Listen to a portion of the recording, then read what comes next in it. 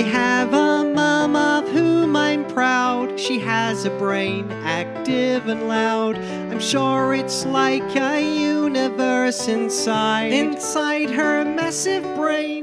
However, when she talks to me, my instinct is to quickly flee and find myself a place that I can hide. Run and run and run and run and hide. For her words are big and are complicated and bizarre. And usually they give me a headache, a really big headache. My brain is not that big at all.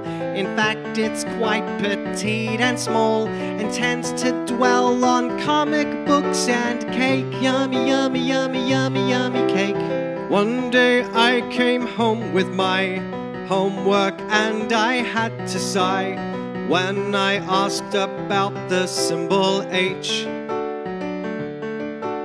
I knew then what I had begun. Her mouth fired like a Gatling gun.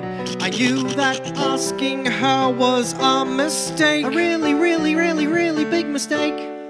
Hydrogen, she said to me, is an element you see of which the letter H stands for. Oh dear. Its atomic number being Stop, one, Mum. with a weight of being one point double zero seven nine Mum, four. stop it, please. Followed by a letter No. U, and it is the common view that it is indeed the lightest please. element. Stop. For in fact, through outer No, space, no. it is indeed quite commonplace, being the chemical Please. that's most abundant. That's not what I mean. Three quarters of the universe No, seriously. is emitted silent curses, Please. baryonic masses made up of it. Just be quiet. It's the stuff of stars that are non-remnant in hmm. plasma. State she said will start could almost vomit.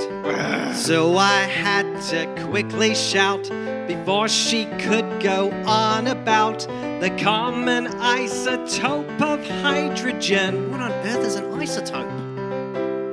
or its lonely small proton, and its lack of a neutron, and good grief, the term of its being protium. Is that a type of breakfast cereal?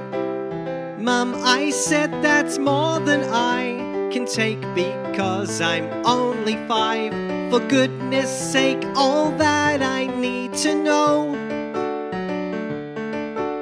is how to write the letter H and understand the sound it makes and where the lines of it are meant to go.